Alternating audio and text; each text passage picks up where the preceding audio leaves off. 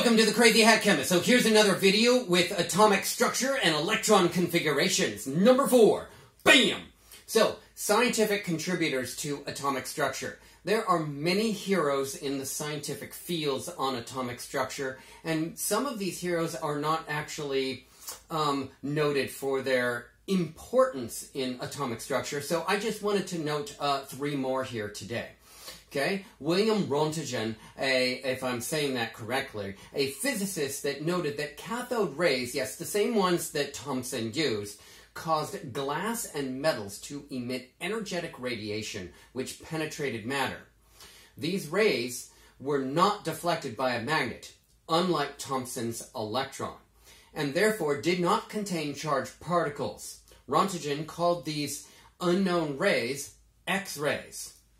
Antoine Becquerel, a physicist, discovered that uranium exposed photographic plates with highly energetic particles that were not deflected by a magnet, i.e., they were not um, charged particles either, but, dif- but differed from X rays because they spontaneously came from uranium, actually, an ore of uranium. Here is Röntgen, and here is Becquerel.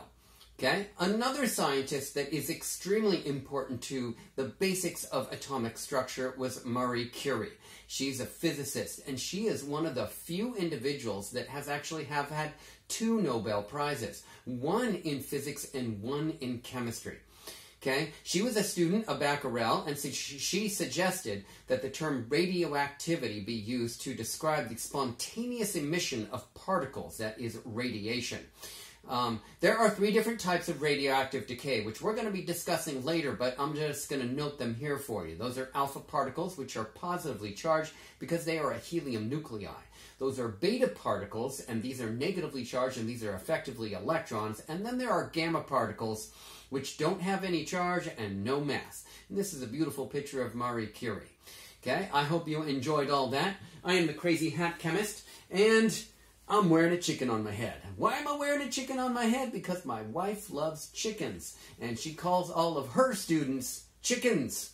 Give me a thumbs up if you like that video. Subscribe to my YouTube channel. Watch the rest of my videos, and have a great day. Don't be a chicken.